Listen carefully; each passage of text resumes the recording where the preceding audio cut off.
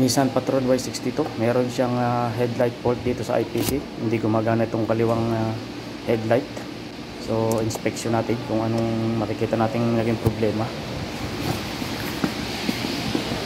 So bali hindi gumagana itong kaliwa. Wala siyang high beam at low beam. So nag-scan na rin naman tayo dito at wala naman tayong nakitang ah, DTC so i-check natin yung mga fuses So, bali, chinik natin itong dalawang fuse sa kanyang wiring diagram. Bali, yung dalawang fuse is uh, nandito sa kanyang IPDM. Isang 10 amperes at saka isang 15 amperes. So, bali, nakita natin na busted yung dalawang fuse. It blown. So, ang ginawa natin is uh, pinalitan natin ng dalawang bago. So, same pa rin. Nagbo-blown pa rin siya.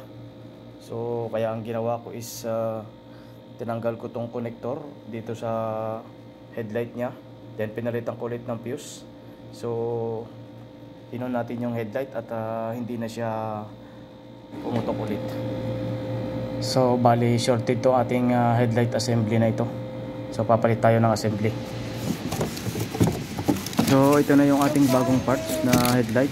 So magpapalit tayo ng bagong assembly dito sa kaliwa. So bali approved naman na to ng warranty.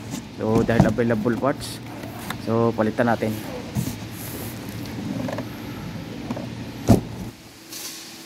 So tatanggalin natin itong bumper para mapalitan natin itong headlight assembly na ito. So tinas natin itong sasakyan. Tanggalin natin itong cover dito sa ilalim. Bali may mga 10mm lang naman ito na bolt. Tsaka dito sa may fender niya. So bali ito na, tinanggal na natin itong cover. Then tanggalin natin itong 13mm na bolt. So, apat na piraso yan.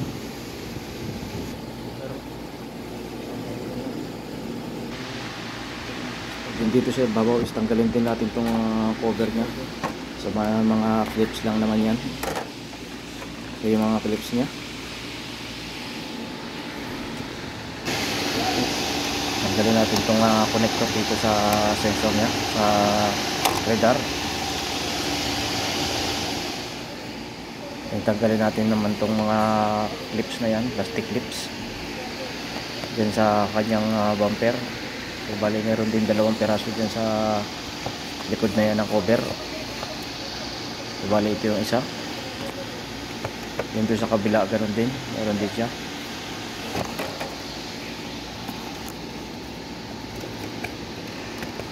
Dito sa kabila na to, meron din siyang isang clips na nakatago. So yan, tinanggal na natin yung mga clips.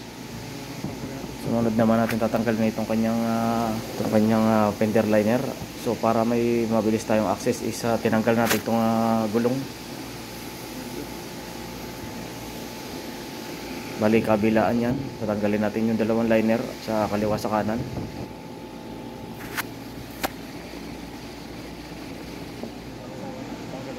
So tinanggal na natin itong liner dito sa kanan saka sa kaliwa. Bali may dalawa naman siyang uh, 10mm bolt na screw. Dito sa bumper dito sa magkabilang dulo. Then meron siyang dalawang 10mm so tatanggalin din natin yan. Dito sa kabila meron din siya dito. Bali isang 10mm na screw. Then dalawang uh, 10mm dyan sa kanyang bumper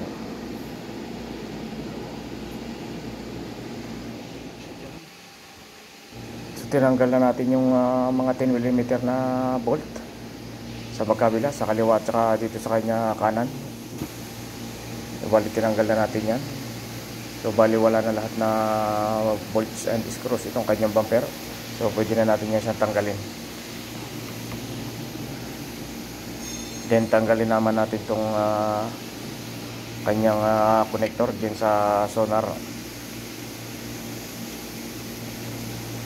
Then after dyan is uh, tanggal na natin yung bumper. Naibaba na natin yung uh, bumper niya. So susunod na natin itong kanyang uh, mga connector dito sa headlight. Tanggal na natin yan. Bali apat na connector lang yan.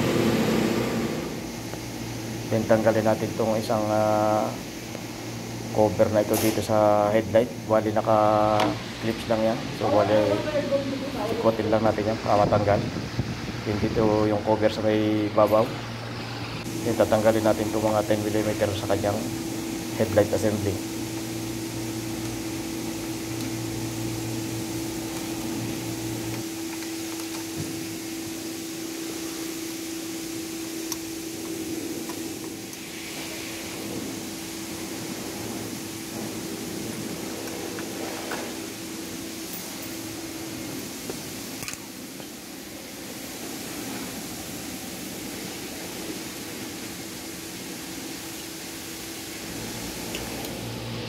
So, natanggal na natin itong luma. Ito yung old niya.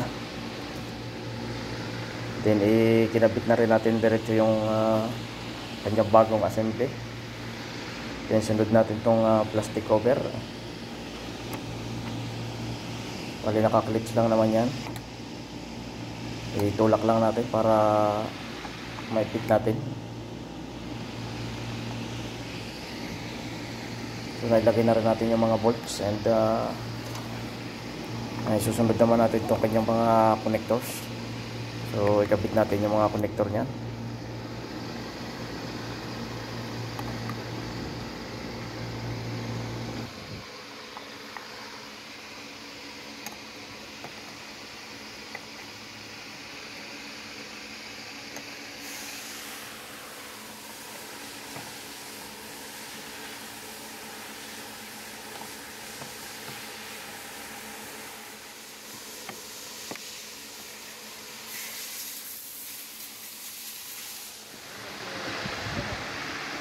Itong bago. Yung luma natin. Kalitan. So, kabit na natin yung bumper. Yung bumper.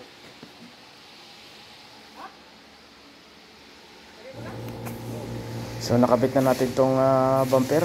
Na-fit na natin lahat. So, bali, check natin. So, start natin. Start. Light. So, gumagana na itong ah, headlight natin dito sa kaliwa. So, bali shorted yung ating ah, headlight assembly. Kaya pinalitan natin siya ng bago.